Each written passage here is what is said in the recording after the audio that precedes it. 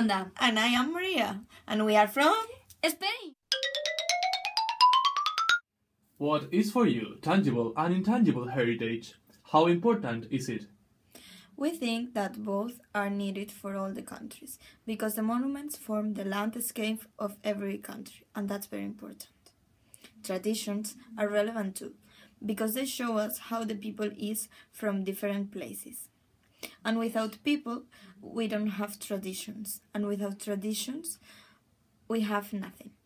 So we think that maybe the intangible are more important than tangible culture. heritage.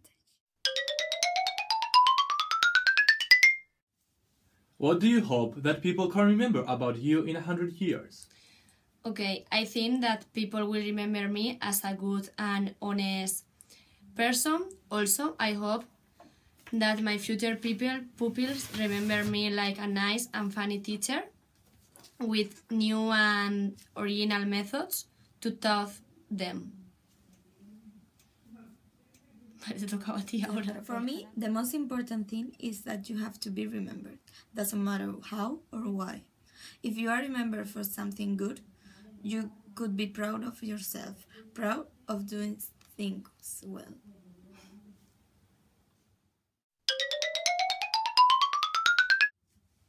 What do you think that people can remember about your culture in a hundred years?